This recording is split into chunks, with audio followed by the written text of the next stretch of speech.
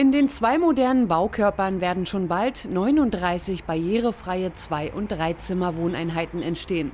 In Schwanebeck wird derzeit an einer neuen Wohnanlage gebaut, die sich dem Thema Servicewohnen widmet. Am Samstag feierten Bauherren, Architekten und alle am Projekt Beteiligten das Richtfest für den Bau. Zukunftswohnen Schwanebeck. Unter diesem Namen richtet sich die Wohnanlage überwiegend an Senioren. Es handelt sich äh, um 39 Wohnungen hier, verteilt auf zwei Wohngebäude. Und es ist ein Projekt äh, für betreutes Wohnen, äh, Servicewohnen.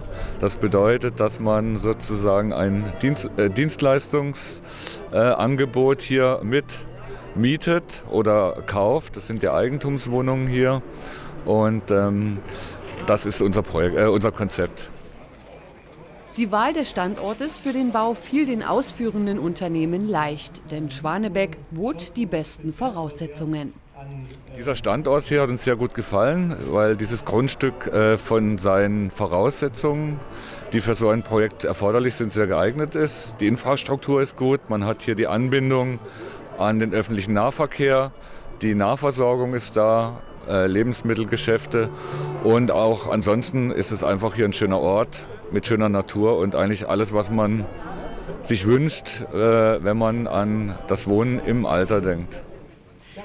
Einige der 39 Wohnungen sind bereits jetzt schon vermietet, obwohl sich die Anlage noch im Bau befindet. Die Fertigstellung ist zum Ende dieses Jahres geplant. Wir hoffen, dass wir zum November die Wohnungen äh, fertig gebaut haben und dann wird bezogen, sodass, wie gerade auch schon hier angeklungen ist, das erste Weihnachtsfest äh, dieses Jahr hier schon gefeiert werden kann für die neuen Mieter.